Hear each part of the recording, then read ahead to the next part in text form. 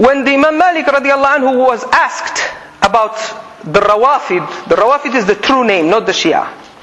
That's how they were known in the, in the past. What do you think about the Rawafid who, uh, who hate the Sahaba and who uh, uh, curse them? Because it's, it's, a, it's, a, practice among them to curse the Sahaba. To curse Sayyidina Abu Bakr, to curse Sayyidina Umar, to curse uh, uh, Aisha radiallahu anha wa anhum ajma'in. They curse them. They called them kuffar and insulted them. He, the, uh, Imam Malik radiallahu anhu, he recited an ayah which his meaning is Muhammad is the messenger of Allah and those who are with him are fierce to the kafirun, merciful to one another. You see them bow, bowing and prostrating, seeking Allah's good favor and His pleasure. Allah subhanahu wa ta'ala is speaking about the Sahaba here and giving examples about, about them.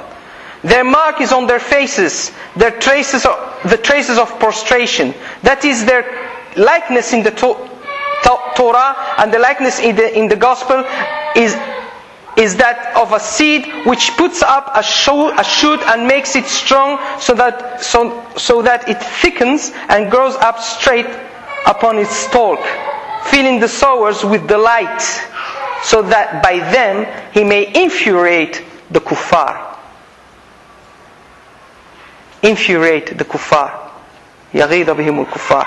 So he says Allah subhanahu wa ta'ala has called kuffar to those who are infuriated with the Sahaba. As for their belief on the Quran, they believe the Quran has been tempered and has been uh, uh, changed. And has been, there, there, there's a lot of ayats that are not there. And by consensus of the Ummah, whoever believes that, there, that there, the Quran has been changed is not a Muslim. Whoever says the Quran has been some uh, uh, has been reduced from his original size or has been added, even by a letter, he's a kafir. End of the story. And that's part of their belief. Nowadays, nowadays they say no, we don't believe that. All right. So say that your imams and the pillars of the ideology, like Al-Kulaini and others, are kafir. If you say that, then we accept you, your, your position, your claim. You cannot say, no, no, the Quran has not been tampered. Okay? So if you, if you say the Quran has been tampered, you have to disassociate and disown all the pillars, ideological pillars of your sect and declare them kuffar. Otherwise, we cannot accept that claim. It's only taqiyya, it's only politics. Allah subhanahu wa ta'ala has said what about the Quran, what its meaning is. Falsehood cannot reach it from before it or behind it. A revelation from one who is always praiseworthy. And he said, It is he who have sent down the reminder and he will preserve it. That's the reality. Whoever claims that is not a Muslim. What we've said about them is clear in their books, in the, in, in the books the tr- that they trust and they are, they are, according to them, reliable. Like, like Al-Kulaini, who's like Imam al-Bukhari or Imam Muslim for us. This is in, the, in his book.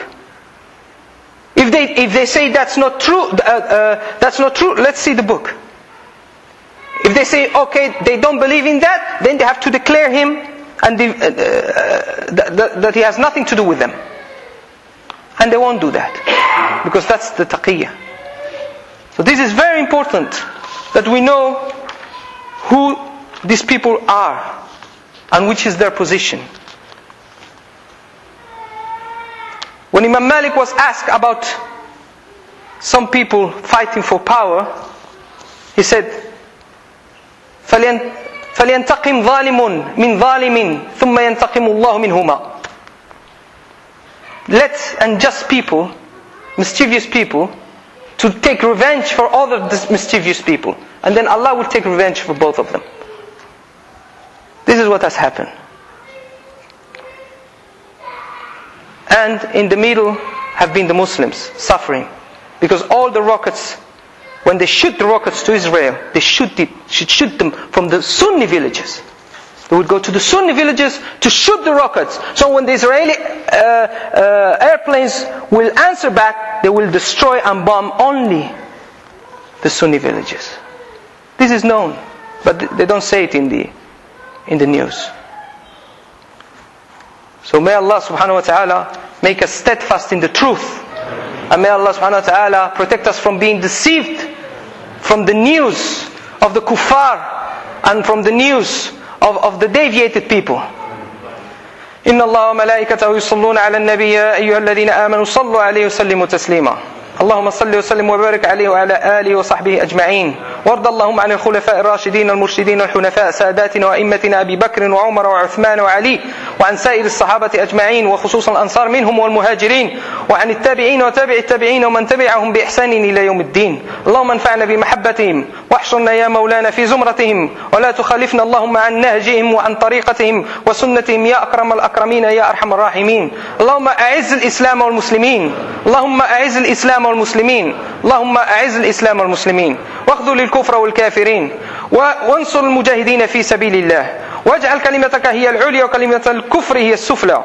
اللهم لا تضع في مقامنا هذا ذنبا إلا غفرت ولا عيبا إلا سترت ولا مريضا إلا شفيته إلا شفيت ولا وعافيته ولا مسجونا إلا طلقت سراحه ولا مسافرا في برك وبحرك إلا سلمته وغنمته ربنا لا تزغ قلوبنا بعد إذ هديتنا وهب لنا من لدنك رحمة. إنك أنت الوهاب.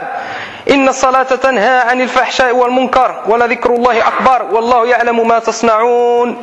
وقوموا إلى صلاتكم يغفر الله لنا ولكم.